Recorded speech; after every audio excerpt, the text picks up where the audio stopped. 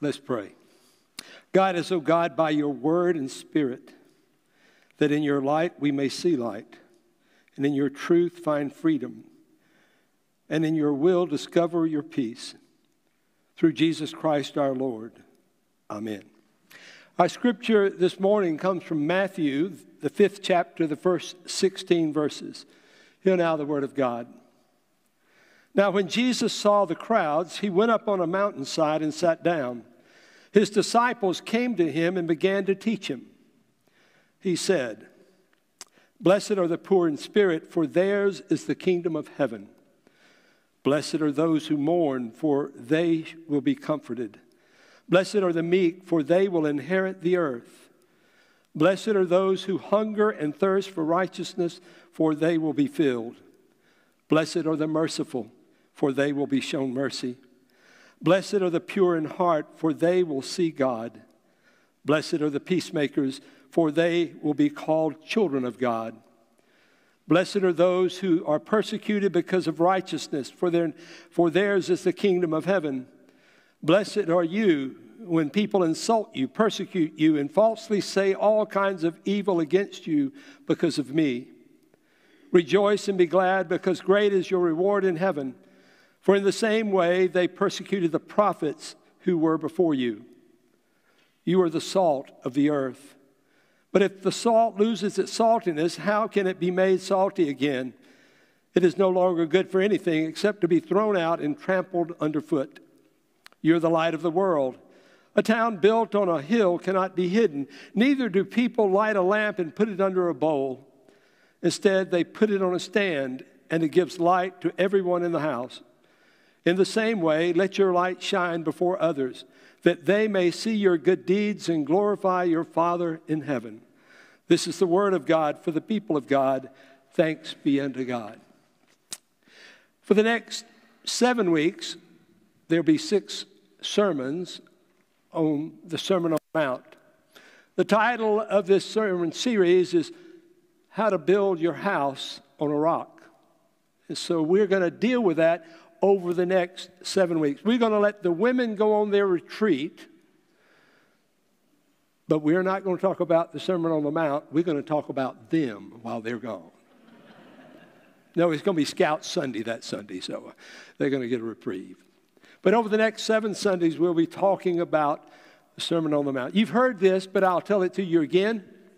If somebody wanted to know about God and Jesus, they would, we'd tell them, read the Bible. And if they said, I don't want to know that much, I think some of you have said that. Well, read the New Testament. Well, I'm not sure I want to know that much. Well, read the four Gospels. Well, that might be a stretch too. Well, if you can't read the four Gospels, read the Gospel of John. Well, I really don't want to know that much. Well, then read the Sermon on the Mount, Matthew 5 through 7. Well, that's more than I want to read. Well, read Luke 15. Lost sheep, lost coin, lost son. I don't want to know that much. Well, read the Sermon on the Mount. Matthew 5 through 7. If you want to know what God is about, what God wants and desires from all of us, you will read this. It's important. Now, what does a Christian look like? I Googled it. I put in Google images and I said Christian. And I saw several men named Christian. I saw people wearing crosses around their necks. I saw Madonna. I saw Puff Daddy. I saw a number of people with crosses. Some I saw some with rosary beads with a crucifix in the hand. I saw somebody sitting or kneeling at a chancel rail. I saw somebody raising their hands in praise of God in worship. I really didn't get a good idea of what Christian's supposed to look like by Googling.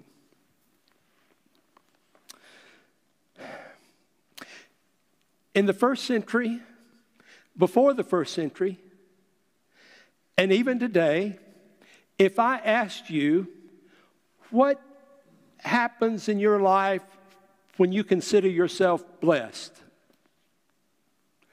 what are the things that would be seen in your life? Most of us would have something to say, maybe not out loud, but you will think it wealth.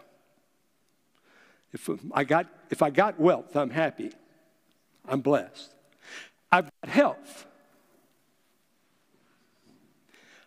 I got a happy wife or a happy husband. I've got children. Things like that, we would say, I'm a blessed person. If we become aggravated with things that are going on in life, we would tend to say, I'm not so blessed anymore. If we have struggles, things are not going the way we had laid out our life to be, we might say we're not blessed, wouldn't we? What we need to know is that the Sermon on the Mount is about the reversals of values. What we tend to value in our life and what is important, truly important to God, to Jesus. Now, so when we go look in the Bible and we want to know when God wants to reveal himself to his people, usually a mountain is involved. Moses is walking along. He, he's taking care of the sheep of his father in law, and he turns the corner, and there's a bush burning on a mountain. And God reveals himself to Moses. Time later, he's on a mountain, Mount Sinai, when God gives Moses the law. At the end of Moses' life, he lets him walk up on the mountain to see how he is going to deliver his people over to that promised land. Doesn't get to go there. Jesus reveals himself to these disciples on a mountain. The temple is on a mount. Jesus is crucified on a mount. Who God is is revealed in mountains. And so when we come to this blessedness and these beatitudes where Jesus is telling them, Blessed are you, the values that he is talking about maybe don't line up with what we think. He begins by saying, Blessed are the poor in spirit, for theirs is the kingdom of heaven. What does that mean? Blessed are the poor people. If I was poor, my spirit would be so low. Yeah, I need, yeah, okay. If I was poor, I would need to be blessed. No, that's not what he's talking about. Someone who is poor in spirit is bankrupt, spiritually bankrupt. They have, are standing before God, and there is nothing that they have or any means to justify themselves to God they understand exactly what Paul writes about when Paul writes in Romans, For we have all sinned and fallen short of the glory of God. The wages of sin is death. And God demonstrates his great love for us that while we were yet sinners, he died for us. We cannot approach God on an equal footing thinking I am blessed. I have wealth. I have health. I have everything the, the world wants, and think that you can be accepted by God. It's truly, to be blessed in God's economy is to say that I am spiritually bankrupt. I cannot stand before God unless somebody intercedes for me. I need someone to save me. That's where we are. I cannot do it on my own. Neither can you. No one has ever been able to justify themselves by themselves. And they understand that they are spiritually, morally bankrupt. And the people who find themselves and know that truth, Jesus says, Thus is the kingdom of God. When we are in that place, the kingdom of God will break into our lives. It's a wonderful thing when we understand that. And then Jesus says, Blessed are they who mourn, for they will be comforted. The people we're talking about mourning are not those who have lost loved ones, those who are in bad shape, those who have a lot of have lost something. The people who mourn are those who are mourning because of their spiritual bankruptcy. They're weeping because of what they've done and who they've been in the sight of God. And they will be comforted. When you get in that spot, the next logical thing is that we should be blessed because we're meek. When you understand that we can't do it on our own, and we mourn that fact, our hearts have become soft. They become pliable. They're not hard. Meekness, in, if you're a potter, meekness means that the clay, you can do something with it. If it's not meek, the only thing that'll happen is it'll break. And so we're able to be molded into who God wants us to be when we are meek and pliable. And when we come to that place where we understand our bankruptcy, when we mourn that and we experience the kingdom of God and we are comforted, we understand that we need to be who God wants us to be. And in the process of doing that, we are molded.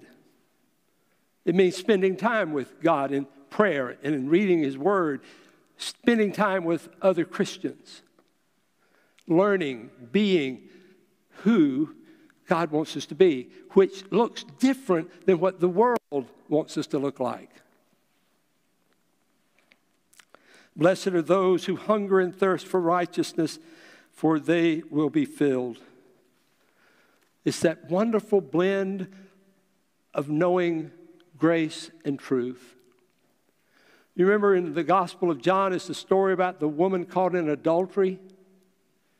We see this wonderful blend of truth and grace. Those men who caught her and bring her to the feet of Jesus to try to catch him, and they were all about truth. The law says this, and this is what you get. Right? This is what you get. They had their stones, they were ready to fling them.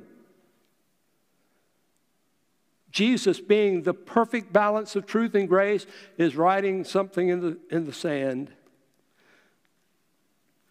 And then he asked them the question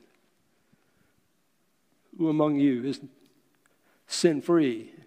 So, whoever who is sin free cast the first stone. One by one, from the oldest to the youngest, they drop their stones and leave. And then Jesus said to her, Ask her, where are those who accuse you? And then he says to her, Go and sin no more.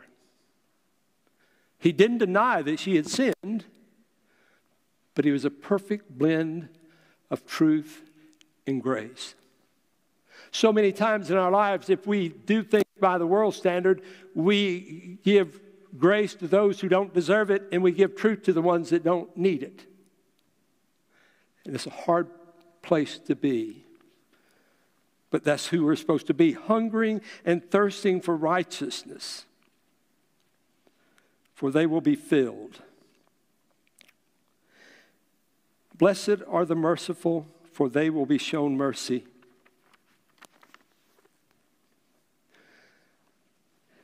hard part about life itself is that showing mercy. There are people who cannot forgive other people. They have such a grudge against other people. a hatred toward other people. It's a painful thing to watch that. And what I found is that so, more, so often, and what I have come to understand, is that for those who are unable to forgive, the God they worship is one who is not merciful to them, or they don't understand how much they have been forgiven. Because something happens when you're not able to be merciful. Because people who are, hold a grudge and are angry all the time, they are no fun to be around. Amen? Who wants to be around somebody who always brings up something in a hateful manner to some, about somebody else? If you'd have known what they did to me, preacher, there's no way you would have forgiven me either. But when we show mercy to somebody, we give up something. We give up the thing that will bind us into something that will destroy us. We do. And we are, we are forgiving and merciful so that we might be forgiven and we might be set free from the things that bind us to the things that God doesn't want us to be about. Those who cannot forgive more times than not, I would say, don't think their sins are as bad as other people's. And we need to be set free from the things that bind us together. Blessed are the pure in heart, for they shall see God. Those who are pure in heart understand that they have not arrived yet. They seek to get something better. They know there, there is something better out there, and that is that they will see God. This past Thursday, I didn't find out of this till yesterday, but my pastor, before I went into, right before I went into ministry, and while I was first in ministry, died this past Thursday, Reverend Pat Shannon. A dear, dear friend. The things that he did for me to enable me to be where I am today is just unbelievable. In the midst of his humor, his sarcasm, and all that he was, you could see God. You could see God at work. And in the process of being who he was, I am a better person because I saw God through him. And I am better for it. And I praise God for the people who I have been able to see God in their life to the point where it changed who I was. Because those instruments who seek a pure heart allow us to see God in ways we've never seen before. And that's who we need to be for people around us. Blessed are the peacemakers, for they will be called the children of God. Jesus is called the Son of God, the Son of Man. He says we need to be peacemakers. Usually, when our country sends peacekeepers somewhere to keep the peace, what they're really doing is if somebody breaks the peace, we're going to kill them. Right? We send them with weapons. That's what we do. They're peacekeepers. Sometimes we kill people on both sides because they aren't willing to keep the peace. What Jesus is saying is peacemakers. And when you're a peacemaker, you go in in the midst of them. In the midst of the war, the warring factions, to bring, bring them together. That's what Jesus did. He came unto his own, and his own received him not. And they killed him. Blessed are the peacemakers, for they will be called the children of God. You see, this is, doesn't sound like something we want, really. It's not what we really want. We want to be blessed with wealth, health, and all those things, but Jesus says, Blessed are those who are persecuted because of righteousness, for theirs is the kingdom of heaven. Blessed are you when people insult you, persecute you, and falsely say all kinds of evil against you because of me. Rejoice and be glad, because great is your reward in heaven. For in the same way they persecuted the prophets who were before you, and they persecuted him. What Jesus is saying in the midst of all these blessed is what he said in other places where he said, If you're going to be my disciple, you must take up your cross, deny yourself, and follow me. And in the process of following Jesus, we will point other people to him. And then he says that we are salt. Salt. He doesn't say you can be salt. And he says we're going to be light. We are light, the light of the world. And we're, we're going to, we might not be light. We're to be salt and light. And the things I know about salt and light is that when they touch something else, they change something. I love what salt does to potatoes, fried potatoes. Don't y'all? I really do. There's something about the right amount of salt that makes in me thirsty for something else. Doesn't it? Y'all know what it is in your life that beverage that you just love to drink. I love salt. But you could be like me. Years ago, I was going to drive home from uh, somewhere up in Washington. I think I was somewhere in Northern Virginia, and it was 7 o'clock, and I'm in Richmond, Virginia, and I'm kind of tired from a long day, and I go in the Shoney's to get the largest cup of coffee I could get, and I tore about eight packs of salt and put it in my coffee.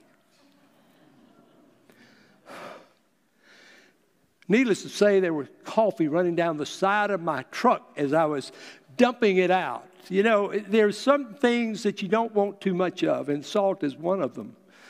It really will. Sometimes what we think is salt is not something that will cause us to crave something else. And so we have to be careful about this salt. Light in the light, you know, light in the light in much, but light in the darkness, boy, that is a beautiful thing. And so Jesus calls us and tells us that we are to be salt and light in a world that's thirsty and needing both. And so, how do we do that? I think we have to change and reverse our values. Reversing our values so that we can know what it really, means to be blessed. You see, there is a world that's dying to be blessed by Christ. And when we live out our faith, the way he talks about here, not only will be, will we be blessed, but the world will too. Y'all want to be blessed? God wants us to be blessed too and the world wants to be blessed as well. Let us pray. Lord God, may we know what it means to be blessed. Let us know the meaning, true meaning of what it means to be spiritually poor. To mourn and grieve because of our spiritual bankruptcy. Change our hearts so that we are meek and can be molded we can be pliable. And we can seek truth and peace. We can seek all the things that you seek. Lord, we ask this prayer in your Son's holy name. Amen.